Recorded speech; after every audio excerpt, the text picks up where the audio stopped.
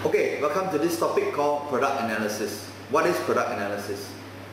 Now, why do we do it?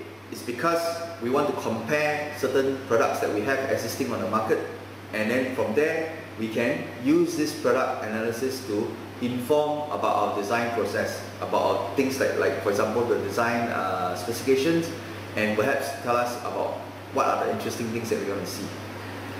Now, this is a table that you have. Uh, it's similar products that are, examined to determine the features of each of the various products. So you have things like uh, the holders and each of them you talk about the product description, the materials and construction and basically a conclusion.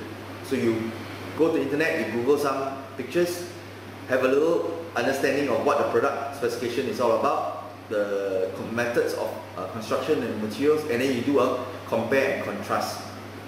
By doing so, you will be able to have a conclusion. What are some of the good points? What are some of the bad points? What are some of the interesting points? And then you can use that as a decision making later for your project. Uh, another example, to compare different toys, their sizes, and how this measurement will affect your stock, the size of the storage space. So you have dolls, a typical measurement of the dolls, right?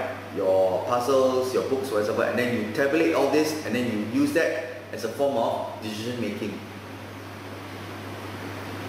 Uh, annotations are required, so please your analysis is only useful when you actually do a detailed summary of each of the product. Alright, don't give me pictures without anything. Right? There must be some form of conclusion, there's some form of decision making that will inform you why you chose these pictures because you chose them and it's interesting. That's why you chose them. And out of this, tell me something interesting about each of the picture. Alright, don't also tell me the advantages and disadvantages. And then from there, you can make some decision. Alright, so good luck on your hunt.